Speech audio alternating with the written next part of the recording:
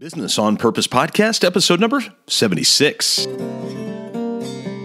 We do it every week right here on the Business on Purpose podcast and the Business on Purpose platform, where we're here to liberate you from the chaos of working in your business. You either lead uh, part of a company, an entire company, you're a small business owner. That's what we're here to do is to help liberate you. And so today, I'm going to take you on an adventure through the second half of what we did in episode number 75, where we asked the question, What is culture? Just a couple of days ago, I got asked by a client, "Hey, I saw your uh, Facebook Live and your I heard your podcast on what is culture, but I've got a question for you." And I thought this is a profound question. This is a deep thinker too. The guy who asked me this question, he said, Can I delegate culture? And I thought, I don't know. And so I thought I'd take a couple of minutes on it. And if you haven't figured this out, the last couple of weeks, I'm actually doing this podcast live on Facebook Live. So sometimes it's on Monday, sometimes it's Tuesday, just different days. So you can check us out on Facebook Live um, or just head on over to the mybusinessonpurpose.com, mybusinessonpurpose.com forward slash videos.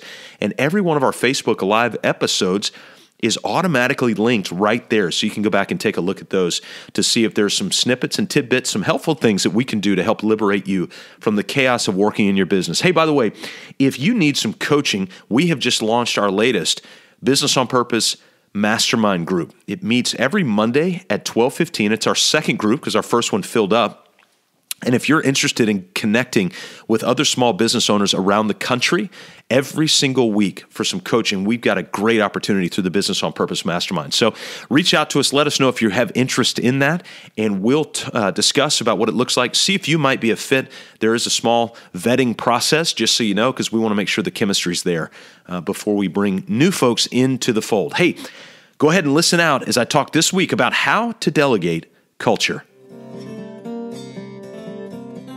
This week, what I thought I would do is last week the question was, What is culture? And if you go back to last week's podcast episode on the Business on Purpose podcast or look at the Facebook Live on my Facebook feed, you'll see there were three major elements. The first one was you had to have a life form of some kind. We call that the human being, right?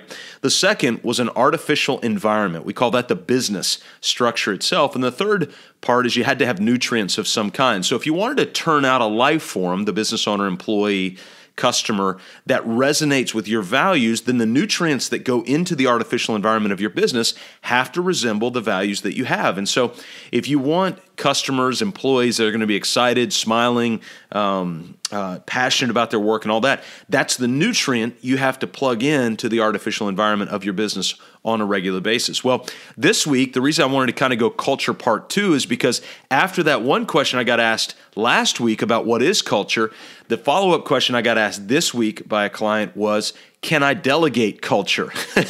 and my first reaction to that was, I don't know that you can ever delegate culture. And as the more I've thought about it, the week goes on, I thought, I don't think you have a choice.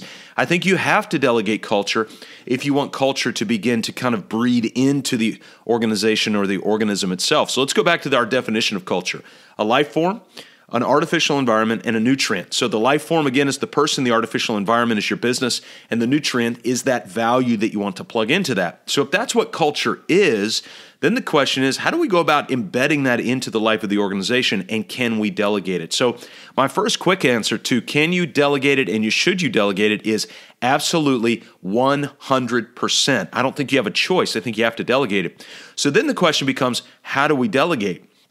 Now, for those of you who have heard me before, this is going to sound like a broken record, but I, I want you to continue to listen because it is so, so important. Remember what Joe Calloway says vision without implementation, what is it? It's hallucination. And so we don't want to be business owners who are hallucinating around these grand ideas, but we're actually implementing these ideas. So there's two ways as I've thought about this and I've tried to think about it deeply that you can begin to delegate your culture within your business, within your family, within uh, friends that you live in, the town that you live in. If you want to change the culture of your town, then you can start doing this. Number one, and go back to the Bible on this Nehemiah, Abraham, Moses, Isaiah, all these guys, you know what they did first? They articulated a vision. They articulated a vision. So, number one, and again, it may sound like a broken record if you've heard me before, but you have to articulate your vision. You have to tell us and yourself where this business is going because if we don't know that, we have no idea what culture to embrace. Because the detailed snapshot of what the future looks like, that's necessarily going to determine what kind of culture fits what life form grows out of this artificial environment of the business that it is that you're building. And so, again, articulate the vision. If you want to know more about vision, go to the uh, Business on Purpose podcast, episode number 46. And we and I go extensively into the detail of actually what a vision story is in contrast to just what a simple vision statement is. Okay. I prefer a vision story very detailed, seven different categories the term of uh, length of term in terms of the time, your family and your freedom, your financials, your uh, product and service, the personnel, the client type, the culture, all these things, we want to draw those out so that people see where we're going as a business. Because if they can't see where you're going, then don't expect them to embrace the culture that you're trying to build. And within that, the seventh category that we talk about within the vision story is culture.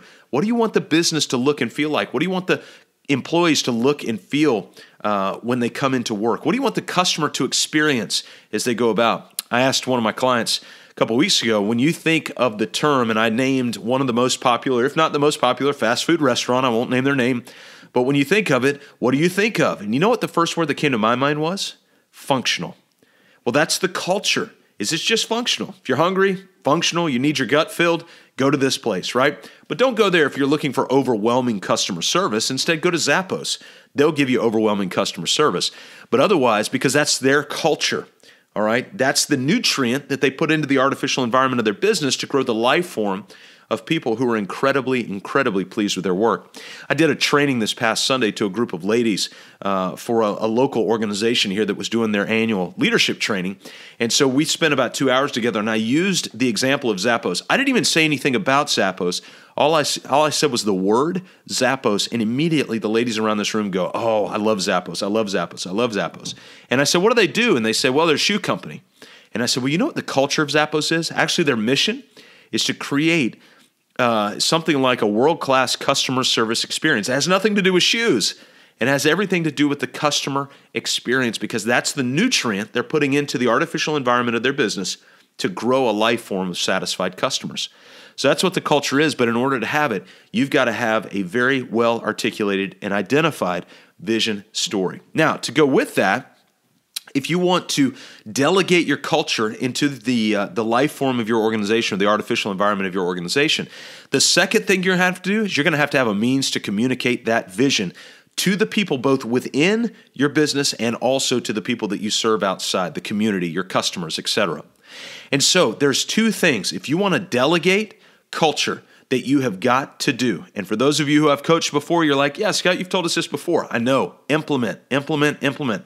Go back to your vision story, articulate it, and then your meetings structure. You've got to have a format, you've got to have a platform to be able to communicate your vision so that the culture that's bred in your vision, in that artificial environment of your business, then has a way to be communicated. It spreads. You know, we talk about videos, cat videos, silly cat videos, they spread virally and all this other kind of stuff. That's how culture spreads. That's how the bacteria of culture spreads. It spreads uh, when one person articulates that culture to another person and they act within line of what they've articulated. So when they follow through on something they've articulated with their culture, now they're following through and in line with the, what the vision details. So the way that you delegate the culture in your business, number one, is you have to draw it out within your vision story. This is what we want the culture of the business to look like. And number two, you have to have a means to communicate that vision. And what we subscribe to in the Business on Purpose platform is a solid structure of team meetings. And we've done these before. We've actually got um, uh, we've got a, a, tutorial and also a um, uh, like a template that we're going to put up in the next few weeks, and we'll put it up on our on our uh, on our social media channels to where you can get access to it of actually how you coach your team members, but also how you can set and run a team meeting. In fact, last week, if you go back to our social media sites, I think you'll see we put up uh, a template, we put up an actual tutorial of how to lead a rock star team meeting, a team meeting you actually like. You say, hey, I hate team meetings. No, you hate team meetings that are bad. Those are the kind of team meetings you hate. What we like are team meetings that actually work, follow an agenda, and they communicate culture. So if you want to delegate culture, if you want to build culture, you got to write it out and start inputting the nutrients of that culture in those three elements, right? But if you want to delegate culture, you've got to take those elements within your vision and you've got to have your regular standard communication outputs. We like to look at those as the team meetings that are well run with great agendas and great action items and follow up. Once you've got those two things in place, you can't go wrong. You're going to start to develop a vision for your business. It's really, really powerful. So, hey, thanks for joining me on the podcast. I appreciate it anytime you come, anytime you come by Facebook Live. It's always an honor uh, to have you come here. I've had people say that, hey, we take notes when you come on and do this stuff. I'm so humbled and honored that you would do that. So, thank you. Uh, for that, really appreciate it. This is also going to be on our podcast, so you can check it out there. Uh, if you just go to mybusinessonpurpose.com forward slash podcast, you'll get that. And also, we have just launched our most recent Business on Purpose Mastermind group. So if you're interested in that, uh, let us know. Reach out to us, and uh, we would love to connect with you to see if that might be a fit for you. Some people it is, some people it's not, uh, but we've got that out there so that we can help liberate you from the chaos of working within your small business. So, hey, join me next week right here on the Business on Purpose podcast.